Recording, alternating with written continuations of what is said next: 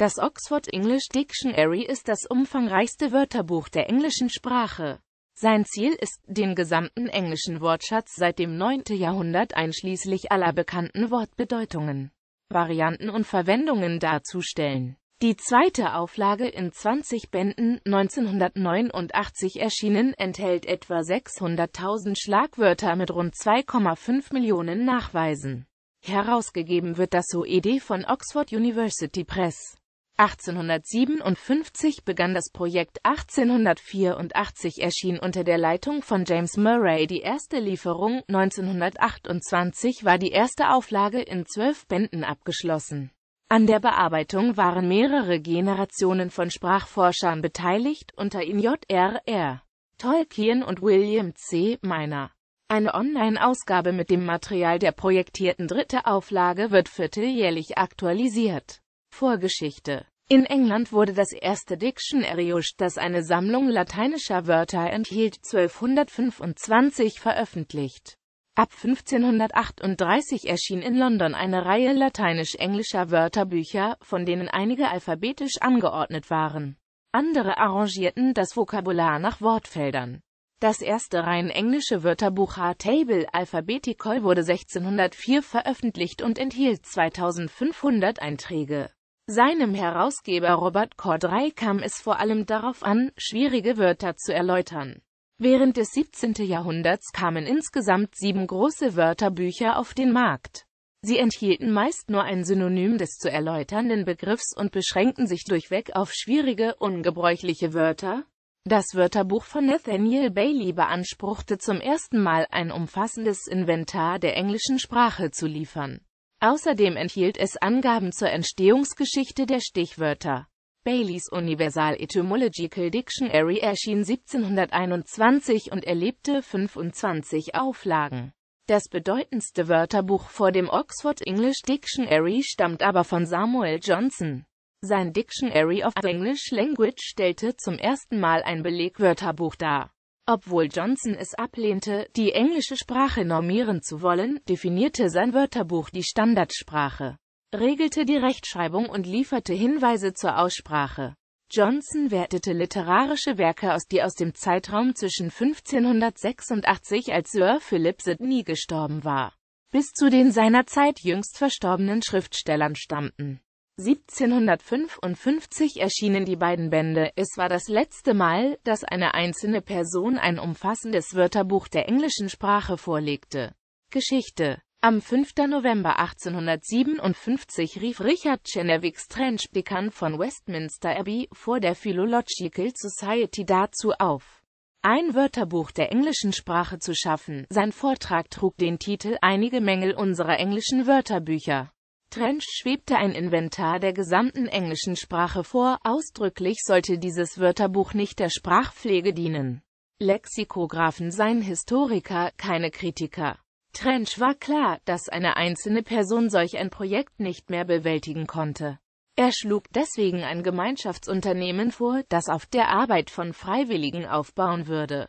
Der Vorschlag damals noch unter dem Namen New English Dictionary on Historical Principles wurde von der Philological Society 1858 akzeptiert und Herbert Coleridge zum Herausgeber berufen. Coleridge starb bereits nach zwei Jahren, er hatte in dieser Zeit gerade mal die Belege für die Hälfte des Buchstaben A durchsehen können. Und auch sein Nachfolger Fred Erik Funival erwies sich als überfordert, wie er schließlich selbst erkannte. 20 Jahre nach dem Beginn stand das Projekt vor dem Scheitern. Die entscheidende Wende kam 1877, als einerseits auf Funivals Vorschlag James Murray eingestellt wurde und andererseits Oxford University Press als Verlag gewonnen wurde. Murray veröffentlichte 1879 einen Aufruf, den zahlreiche Buchhändler ihren Büchern beilegten. Bemerkenswerterweise richtete er sich dabei nicht nur an seine Landsleute, sondern auch an Amerikaner und die Bewohner der britischen Kolonien. Tatsächlich sollte die gesamte englische Sprache, die inzwischen zur Weltsprache aufgestiegen war, dokumentiert werden. Die Methode, Belege zu sammeln, war bereits von Samuel Johnson ausgearbeitet worden. Auf einem Streifen Papier wurde das Wort, die Fundstelle und ein Zitat herausgeschrieben, das den Gebrauch dieses Wortes illustrierte. Johnson hatte auf diese Weise versucht, die Bedeutung eines Wortes zu vermitteln. Trench ging weit darüber hinaus. Er wollte durch Belege die gesamte Geschichte eines Wortes illustrieren. Gleichsam eine Biografie vom ersten Auftauchen in der englischen Sprache bis zu dessen Verschwinden schreiben. Wobei auch jeder Bedeutungswandel durch ein Zitat untermauert werden sollte. Um das Projekt zu finanzieren, wurde das Wörterbuch in zahlreichen Lieferungen publiziert. Der erste Faszikel erschien am 1. Februar 1884 mit den Stichwörtern A End. Das Projekt war gesichert, als Königin Victoria erlaubte, ihr den Band mit dem Buchstaben C zu widmen. Nach 70 Jahren wurden die zwölf Bände des New English Dictionary schließlich 1928 abgeschlossen. Bis dahin waren 414.825 Wörter definiert und dafür 1.827.306 Belege angeführt worden. Bei der Arbeit war ein einziges Stichwort Bondmate verloren gegangen. Allerdings entwickelte sich die englische Sprache schneller als das Wörterbuch, so dass 1933 bereits ein erster Ergänzungsband notwendig wurde. Erst seitdem ist das Wörterbuch unter dem Namen Oxford English Dictionary bekannt.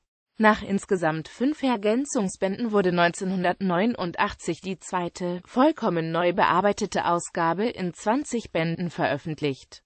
Eine weitere Neuausgabe war im August 2010 zu 28 Prozent fertiggestellt. Daraus entstand eine kostenpflichtige Online-Ausgabe, die vierteljährlich aktualisiert wird, zunächst unter der Leitung von John Simpson. Aufbau eines Artikels Das Oxford English Dictionary wurde mit Hilfe tausender freiwilliger Mitarbeiter erstellt, die insgesamt sechs Millionen Belege einsandten. Die Belege wurden zunächst alphabetisch sortiert, dann innerhalb desselben Stichworts nach Wortarten, etwa Bell als Substantiv, Adjektiv und Verb. Dann wurden die Belege nach der Zeit sortiert, aus der sie stammten und schließlich nach verschiedenen Bedeutungen.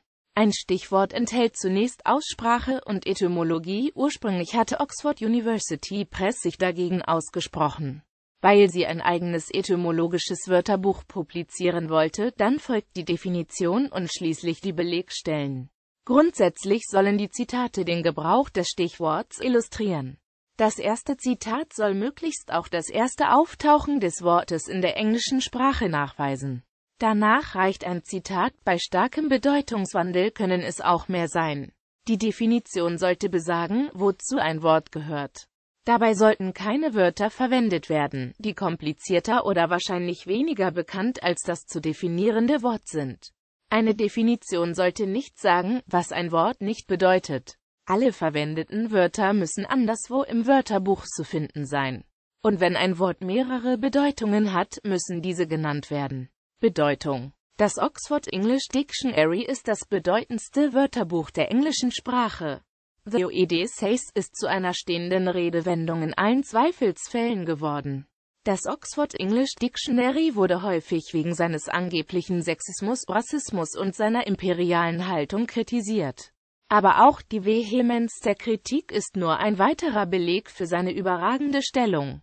Unter Lexikographen ist es ein beliebter Sport geworden, den Erstnachweis eines Stichworts im OED zu widerlegen. Vergleichbare Wörterbücher in anderen Sprachen werden meist von Akademien getragen.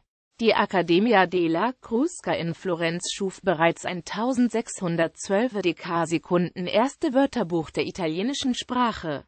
In Frankreich brachte die Académie Française ab 1694 Dekasekunden Dictionnaire de l'Académie heraus, wobei sie ihre Aufgabe auch darin sieht, Normen zu setzen. In Spanien erfüllt die Königlich Spanische Akademie eine vergleichbare Funktion. I Diccionario de Autoridades, ebenfalls ein Belegwörterbuch, erschien zwischen 1726 und 1739. Das daraus entstandene Diccionario de la Lengua Espanola kommt allerdings ohne Belege aus. Das deutsche Wörterbuch wurde von den Brüdern Grimm in den 1830er Jahren begonnen und erst 1960 abgeschlossen. Gegenwärtig wird an der Revision der Buchstaben AF gearbeitet. Von den weiteren, zumeist im 19. Jahrhundert begonnenen vielbändigen Nationalwörterbüchern liegen diejenige Dänemarks und der Niederlande abgeschlossen vor, wogegen diejenigen Schwedens und der deutschsprachigen Schweiz noch nicht vollendet sind. Für den US-amerikanischen Sprachraum von Bedeutung ist schließlich Webster's Dictionary, dessen maßgebliche Fassung zuerst 1828 erschien. Kürzere Versionen, CD-ROM-Ausgaben und Online-Auftritt. Neben der 20-bändigen Standardausgabe gibt es auch eine einbändige Kleindruckausgabe mit 2402 Seiten sowie gekürzte Versionen als umfangreichste der gekürzten Ausgaben ist das zweibändige Wörterbuch The Shorter Oxford English Dictionary anzuführen, mit dem sämtliche Literatur, auch die moderne wissenschaftliche, zu erschließen ist. Von dieser Ausgabe gibt es eine kopiergeschützte CD-ROM-Ausgabe von Oxford University Press sowie eine herunterladbare Applikation von WordWeb.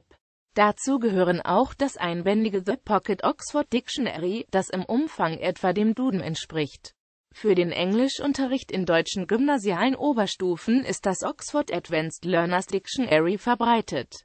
Eine Online-Version ist ebenfalls verfügbar. Frei verfügbar sind Standardabfragen, für den vollständigen Zugriff ist ein Abonnement erforderlich